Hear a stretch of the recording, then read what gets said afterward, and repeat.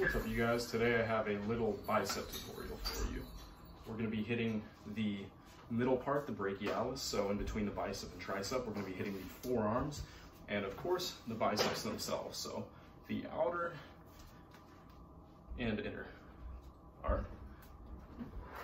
We're going to be doing all of this with a 25 pound plate.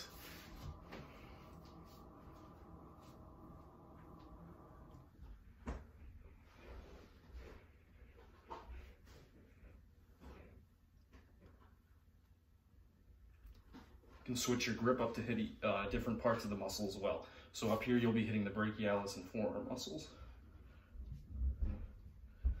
You want to control the weight all through the, the motion.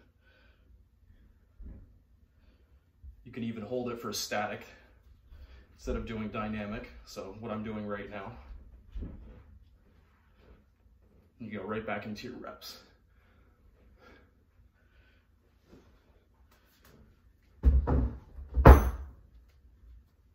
Right? And that finishes our first set. And for the second one, we're only gonna be doing two sets because this is a great exercise for your biceps and you know, we're not doing any compound movements, only isolation. So you're gonna feel that muscle tear anyways. All right, second set, we're gonna be doing only biceps. So have our hands all the way at the bottom here. It's good for grip strength as well.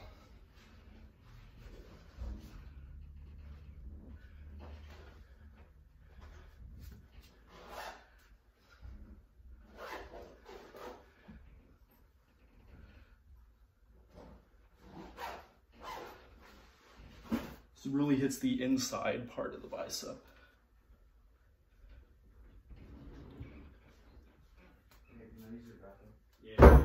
Right, and that will finish up the tutorial. So like, subscribe, comment, follow my Patreon. Thank you.